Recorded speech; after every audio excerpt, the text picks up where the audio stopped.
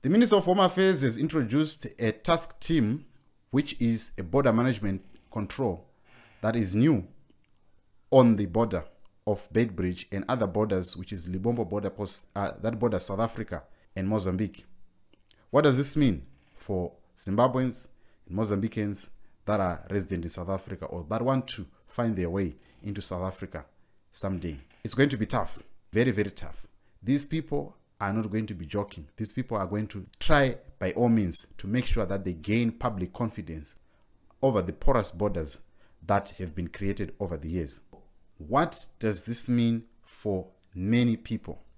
ANC is going all out and they are going to go all out to make sure that they garner votes in 2024 because they have lost in 2021 they only managed 50% of the votes and it is likely that they will drop and they want to stay as the majority in 2024 so this means that they are going all out to make sure that they win to come 2024 they will do everything possible to gain the public confidence and restore the hearts that have since abandoned them and they are going to the parties like EFF and the parties like DA. The second thing is the arrest of Zimbabweans that I have got permits in South Africa is worrying because you remember this gentleman from Youth League after the death of Elvis Nyathi.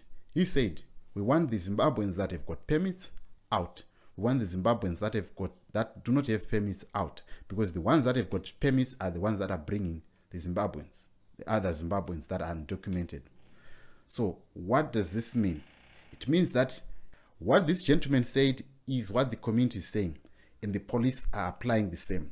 And I was told with this voice note that I want you to listen to.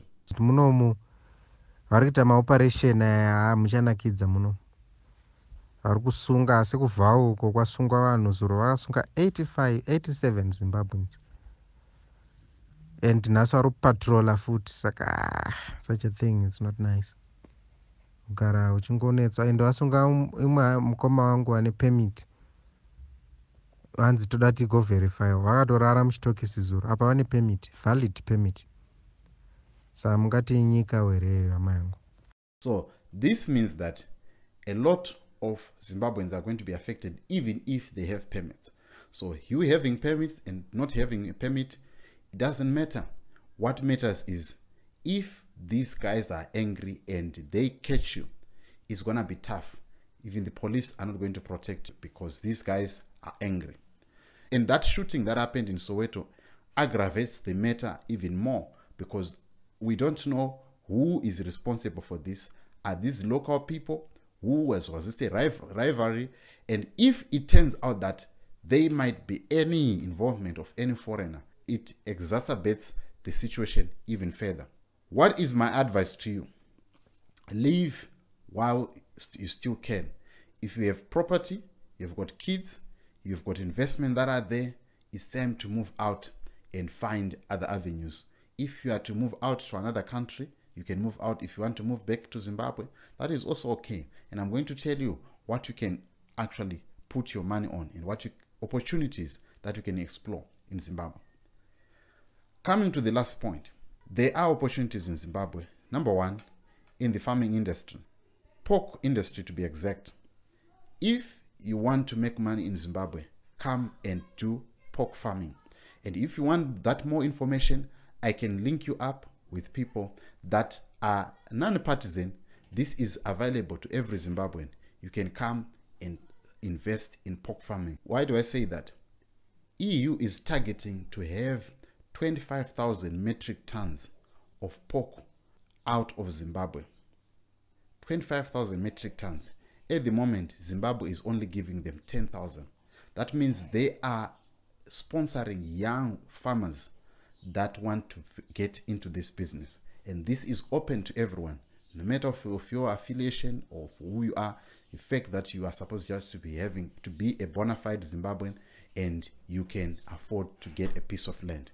So these are some of the opportunities that you can explore. You can even rent the land. It's not a problem. So this is some of the opportunities that you can explore and also you can have prospects in mining and i can link you up with people that are doing that Then the third thing that you can come and do here, if you've got a bit of disposable income, come and buy and sell. Come and see what is on the market, jump on that bandwagon and find things that you can buy, whether you're buying in South Africa and sell in Zimbabwe. These are some of the opportunities that I can tell you to explore. And this is what everyone is doing in town. If you go in town, a lot of places, a lot of openings in the buying and selling industry. So that is what you can explore. In conclusion, what I can tell you is this I've made this brave decision to leave South Africa. Yes, it was the toughest thing, toughest decision that I've ever made, but it was a, an important one. Why? Because I don't want to see what happened in 2021, where shops were looted and there was no protection whatsoever, where people lost their lives and there was no protection whatsoever. And knowing, having been in South Africa for more than 14 years, I can tell you that when these things start to happen, there might not be enough protection for you. So the best is to live whilst you still can. If you've got property, if you've got money, children, move them back home. Yes, you might come here and things get tough, but it might be tougher for a season and get better with time.